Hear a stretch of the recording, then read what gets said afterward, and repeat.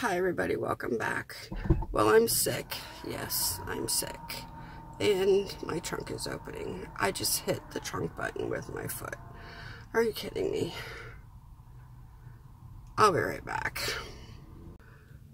I'm really sick. I'm sitting in the doctor's office parking lot right now. They've quarantined me to my car. They said that when uh, they're ready for me, they'll call me in, take me straight back. I have to wear a mask, gloves, the whole bit into this doctor's office, which is fine. I understand that. I would want somebody to do that too.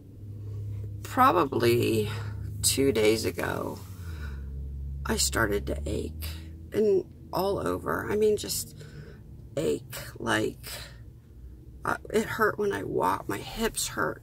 I have back pain and I hurt already anyway, but this was different. I ached like I couldn't walk. I mean, I ached that bad.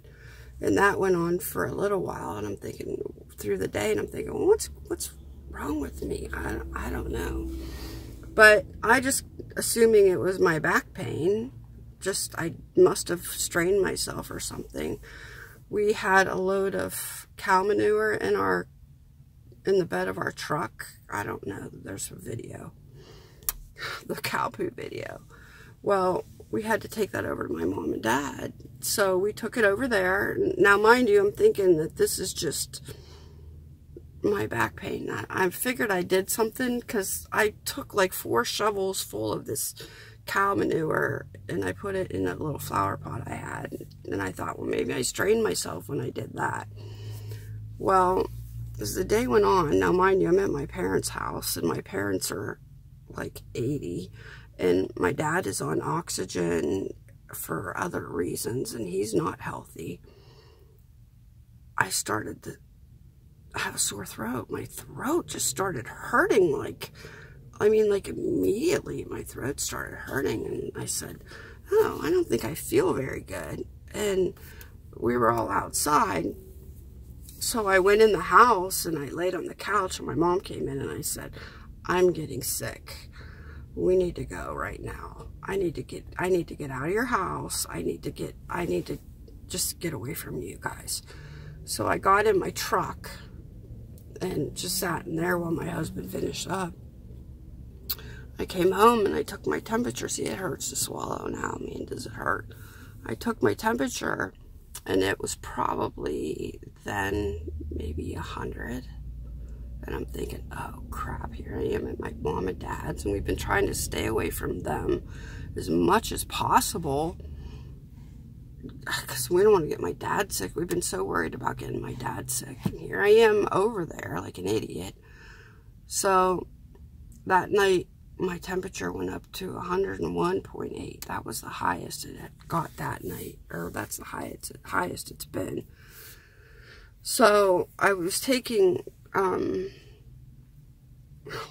I forget what I was taking. I was taking, um, like a Theraflu nighttime through the night and drinking, making sure I drank a whole, whole bunch of water at the same time and I had Gatorade and stuff.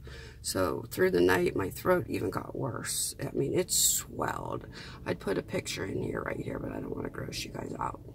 So it swelled huge. I mean, it's huge. So I was up and down the whole night through taking, making sure to take my temperature and it just kept going up and down and up and down. And when I would take Tylenol, it would come down a little bit, but I felt terrible. Chills and just the aching. Oh, boy, did I ache. I mean, it's like a different kind of ache. So then I slept the whole next day. Same thing went on the whole next day, taking my temperature and just all of that good stuff. So now it's, I called my doctor on Monday and they said come in Tuesday, 11 o'clock. So I'm sitting in my doctor's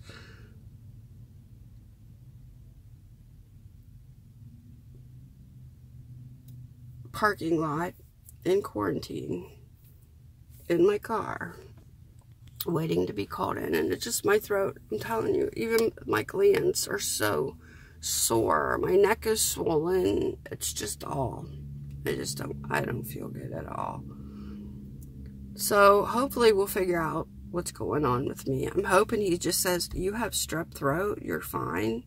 Well, not fine, but you don't have that other business that's going around the world today. But we'll see what he says when I go in there.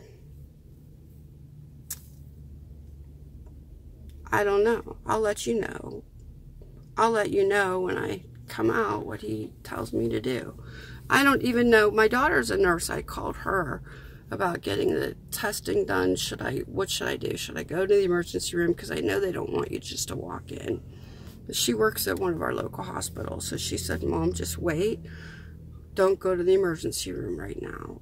Because they'll just put you on the floor and then they'll test you from there. You don't want to do that in case you don't have it. So I followed my daughter's advice and waited and called. So I'll let you know what happens when I get out of there. All right, back in the car. The doctor said he will put me on an antibiotic. My COVID test is tomorrow at 11:15. There's a testing site near near me, so I'm gonna go do that tomorrow. Well, I'm home now. I feel awful. I'm freezing again and I'm tired and that just wore me out going to the doctor like that. So I will keep you informed. Come back. Maybe I'll make a video on the testing, what it's like. I'll do that maybe. Alright, look at me, I look like crap, but you know what, come back. Go watch my banana video. It's pretty funny. I'll see you next time.